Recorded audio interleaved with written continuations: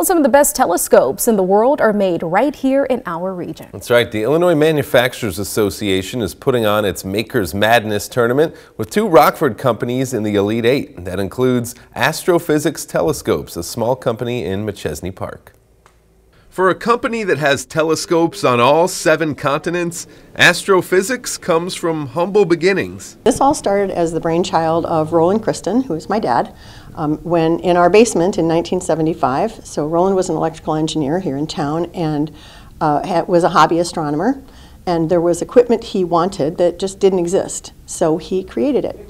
His telescope quickly became the envy of amateur astronomers. When other astronomers found out and saw what he had, they said, hey, would you make me one?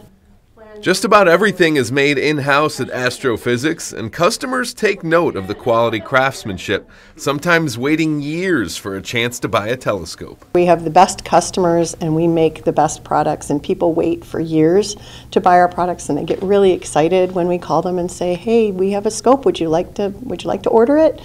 Um, they'll wait. This, people waited for this telescope for over 20 years. The Makers Madness tournament featured almost 250 products nominated. To be among the final eight is a big deal for this company of 24 people. We're just shocked at how many people are supporting us, obviously, because we made it this far. And being in the heart of an area with a history of manufacturing makes it even more special. We love being here. This is it, being in Rockford makes it easy for us to to um, make products here. For example, our, our engraving is done at a local company, and um, and we, we find it so easy to work here, it's easy to ship. Um, this is a manufacturing area and we love being able to make things. In addition to telescopes, they're making the area proud. Well, you can vote for Astro-Physics in the final eight through midnight Sunday, so go vote for our local company.